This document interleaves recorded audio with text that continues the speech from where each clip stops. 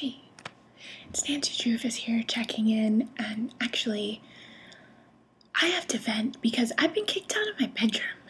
Yeah, I know. So I put this ad out on Craigslist, right? And this dude comes by. His name is Justine. He's from former Yugoslavia. He seems like a really nice guy, you know, whatever.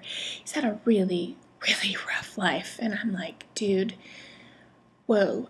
But anyway, I don't know. Maybe it's like a cultural difference, but he won't leave the apartment. Like he just stayed. So now he's in there, and I'm out here, and I'm gonna have to sleep on the couch tonight. And it's kind of it's bullshit, right? I gotta be quiet because he's in there right now, and doing God knows what. I don't know. There's been some weird sounds, and I don't know. Maybe he's like doing push ups or something, but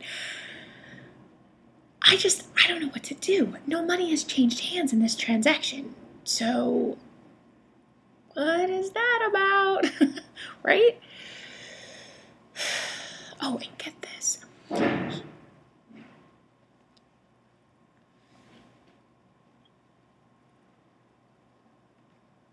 Okay. anyway, he told me that he was on a student visa, right? And the guy's like, like 48 years old, or really weathered 43. So I'm thinking, okay, it's a little fishy, you know. I mean, a little old to be studying. I mean, don't get me wrong, I'm not judging knowledge is power and all good. I'm glad you decided to go back and get your education.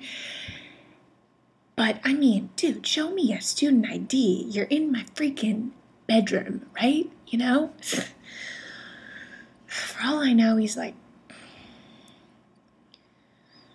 I don't know. I don't even want to think about what he's doing in there, okay? I hope he's just sleeping and whatever. At least let me change the sheets, you know what I mean? It's like- Okay, well, hopefully I'll get my deposit in the morning and uh, we'll start fresh because I don't know how this uh, whole subletter thing is going thus far, if you know what I mean. Anyway, just wanted to vent a little bit. Thanks for listening, and I'll let you know how